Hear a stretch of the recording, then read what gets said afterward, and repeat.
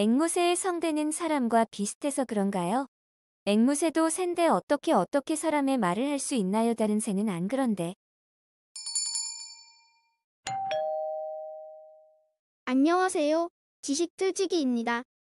먼저 답변 드리기 전 이미지 저작권상 화면과 음성이 고르지 않은 점 양해 바랍니다. 영상을 끝까지 시청해주시고 좋아요 한 번씩 눌러주세요. 영상을 만드는 사람에게 큰 힘이 됩니다. 답변 드리겠습니다. 앵무새는 뇌에 있는 청각을 맡은 신경 중추가 다른 동물에 비하여 특별히 발달되어 있기 때문에 흉내를 잘다고 합니다. 다른 동물과는 달리 인간과 구강 구조가 흡사하다고 들었습니다.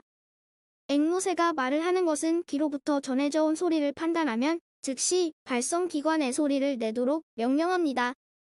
즉, 자기가 생각하여 말하는 것이 아니라 훈련에 의해서 반복된 학습을 통해 지적인다고 말할 수 있습니다.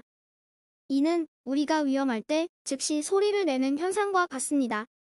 새의 발성기관은 올대라고 하는데 신경 중추의 명령대로 올대에서 소리를 내는 거두 즉 앵무새가 사람의 말을 흉내내는 것은 뇌의 신경 중추에 의한 것입니다.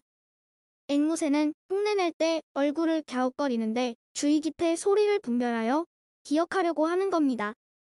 아, 그리고 인꼬나 구관조도 긴 말을 흉내낼 수 있고 까마귀 찌르레기 어치 등도 짧은 말을 흉내낼 수 있다고 하네요. 지금까지 지식틀찍이었습니다.